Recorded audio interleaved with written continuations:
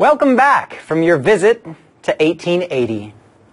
Did you enjoy the grammar translation approach and that dear old professor? Have any of you had this kind of instruction? Maybe not, but perhaps you recognize him a bit in teachers you have known. As you could tell from our visit, the teachers in the grammar translation approach valued the historical and cultural aspects of languages, and that being able to read and translate language opened up new worlds of literature they wouldn't normally have access to.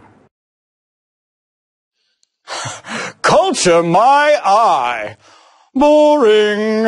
Boring. I wanted to poke my eyes out, or at least poke someone's eyes out.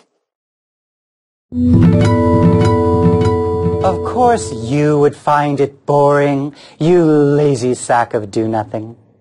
The grammar translation approach holds students to high standards, not only standards of conduct, such as proper etiquette, but high standards of commitment and a belief that there is something to learn from other cultures that we can and should understand. It isn't just about language. It is about becoming something worthwhile, which is something, let's admit, you would never understand. We aren't just learning about words. We are letting these words guide our behavior and give us an understanding of human nature. Oh, who? What? Huh? Oh, were you talking? were you actually agreeing to be a student in a class like that? It doesn't change anyone's behavior reading old dusty books that no one relates to anymore. And the very idea of learning a language that is dead is ridiculous.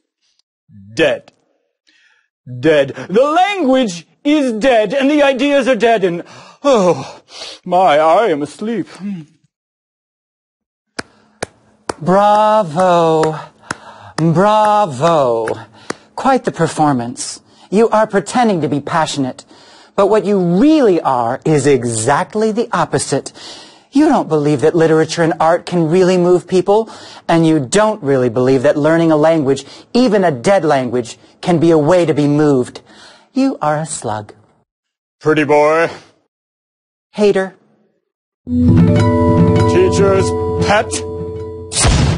Regardless of your view, the grammar translation approach presents an opportunity for you to think about language in terms of a historical lens. Not only is it an older approach, but the approach itself demonstrates to the learner a way to look back in history and see what historical treasures can be found. By looking at language through the lens of literature, grammar, and culture, we get a sense of what truly mattered to our dear old professor. In the next video, we'll take a look at some of the things language teachers have learned from the grammar translation approach. Believe it or not, there are things we still do today that have been handed down to us by those wonderful teachers of yesteryear. See you then.